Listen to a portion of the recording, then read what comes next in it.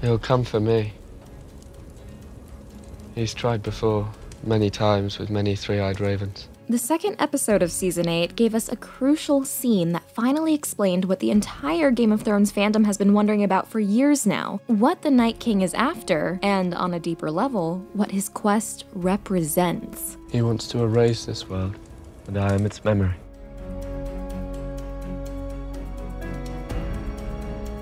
The endless night that the Night King aims to bring to Westeros is translated for us by Bran and Samwell Tarly as the destruction of all living memory. That's what death is, isn't it? Forgetting. This scene pretty much dismisses the widespread fan theory that Bran is the Night King, but it also explains why that theory was so persuasive to some. There's a deep link between Bran and the Night King. His mark is on me. He always knows where I am. The two are mirrors of one another. One is memory, and the other is forgetting. So let's linger on this for a moment and unpack what it really means. If the Night King's forgetting equates with death, then the series is saying memory is life. I can see everything.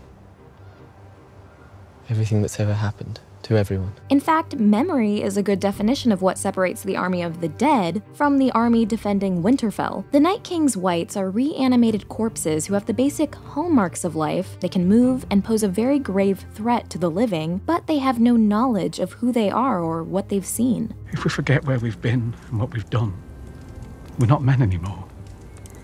Just animals. Through this theme, the series is getting somewhat meta, as we are all engaged in watching an exercise in preserving humankind's memory. This story is loosely inspired by medieval history, as well as classics of literature and fantasy. Most fundamentally, it's trying to pass down to us the deeper lessons history has taught us about power, love, survival, and the bigger picture. But before you leave, you must learn Learn what? Everything. This sentimental gathering on the eve of the battle against death itself reminds us that if we don't preserve this shared better self, we don't just lose life, we've lost what makes life valuable. So, in this crucial scene revealing Bran's ultimate importance, the show subtly announces its own ambition to bring us closer to that precious font of memory, because stories that contain the truth are the key to making us alive in a real sense. Your memories don't come from books. Your stories aren't just stories. If I wanted to erase the world of men, I'd start with you. In light of this message, it makes sense that the rest of this episode is about ghosts and the memories and truths these ghosts carry with them. Near the end, we get a melancholy song from Brienne's squire, Podrick. And she never wanted to leave. Never wanted to leave. And it feels like the lyrics are speaking about passionately wanting to live, not wanting to leave this life, which is here deeply intertwined with wanting to remember. I remember the first time we were here.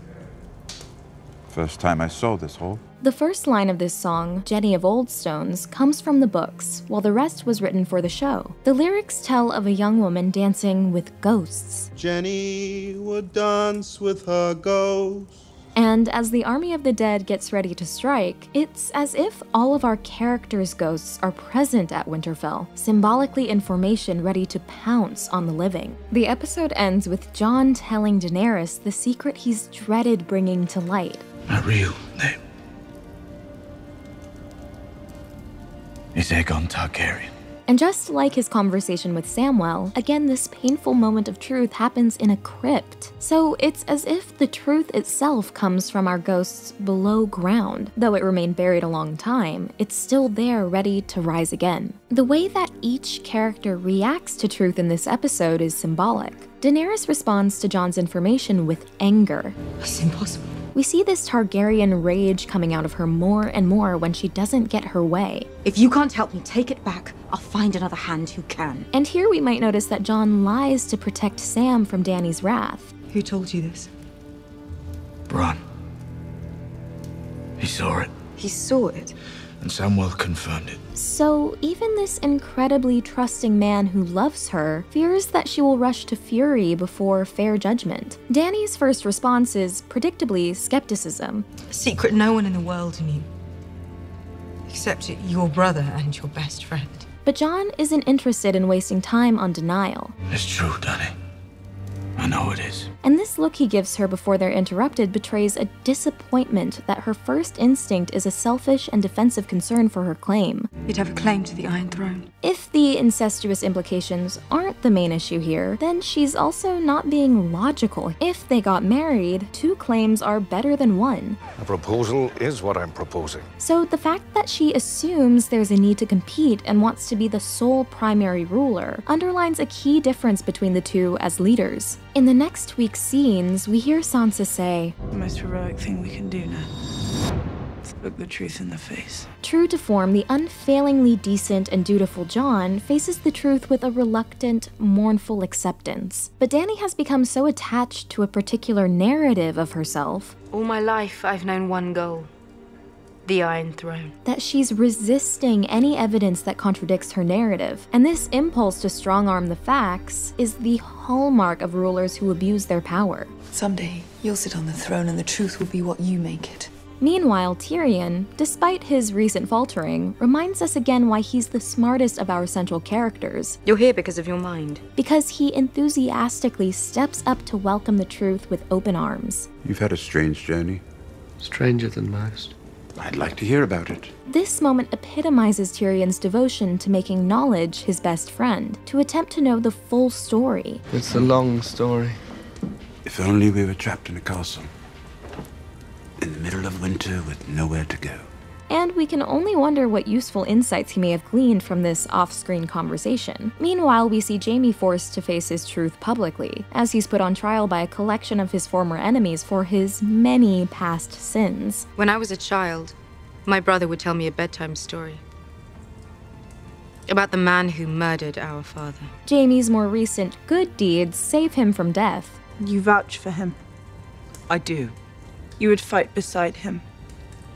I would. Yet, crucially, Jaime stands behind his so called sins because he did them for the right reasons. Everything I did, I did for my house and my family. I'd do it all again. Thus, the Raven's line to Jaime The things we do for love. is not just a veiled nod to Jaime's attack on Bran, The things I do for love.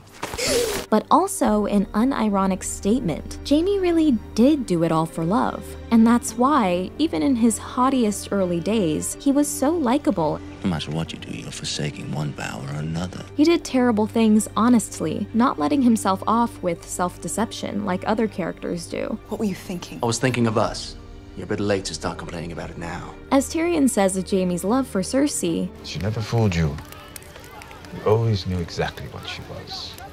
You loved her anyway. in this scene, Bran chooses not to share Jaime's greatest sin of all with the group.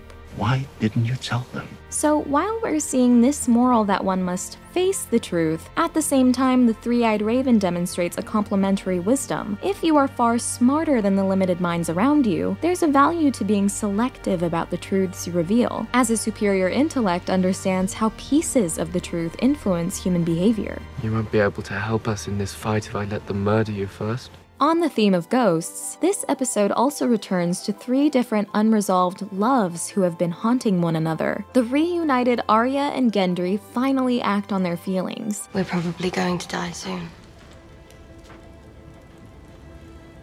I ought to know what it's like before that happens. In their time apart, both have solidified their identities as fighters. Are you going to be down in the crypt? No, but But you're a fighter. Now they try to put on a brave face for this battle. He's got many faces. I look forward to seeing this one. But after their love scene, we even see Arya's fearless mask drop for just a moment as she contemplates the war against death itself. Sansa and Theon reunite at the place they once escaped together. And the intensity of feeling between them sends an interesting message about how living through terrible things can bring people together. Your name is Theon Greyjoy. Last surviving son of Balon Greyjoy, Lord of the Iron Islands. Do you hear me? Despite what Theon did to the Starks, his brave sacrifice in rebelling against his terrifying abuser gave Sansa life. I'll know them away. No, I won't make you without you. These two ultimate victims are the only ones who understand the trauma each other endured. Can't be any worse. It can. It can always be worse. And they've come through that experience with a stronger than ever sense of self and purpose. If Sansa is in love with Theon, and if Arya were to get pregnant by Gendry, this would be an interesting reversal of where we expected each Stark girl to end up. Sansa wanted to be a traditional lady who mothered lords. I love him, and I meant to be his queen and have his babies. Seven hells. But Theon can't father any children thanks to. I'm not killing you, just making a few alterations. Arya once dismissed the idea of motherhood. That's not me. Yet she's become so confident in her own skin that we saw her take control of her first sexual experience with the daring that defines her. I'm not the Red Woman. Take your own bloody pants off. And we can imagine her taking on parenthood with the same sense of agency and lack of concern of doing it the usual way. Meanwhile, if Gendry and Arya's night together does produce a Baratheon Stark heir, that could ultimately complicate lines of succession for the Iron Throne. But that's a major if, relying on certain people not surviving, and Arya avoiding the tragic fate of the aunt she so reminds people of, Lyanna Stark. The greatest love story of this episode is that of Jaime and Brienne, and their romance with knighthood itself. Arise, Brienne of Tarth, a knight of the Seven Kingdoms. We have a whole video coming up about Brienne, so we'll be digging more into this there. How do you know there is an afterwards?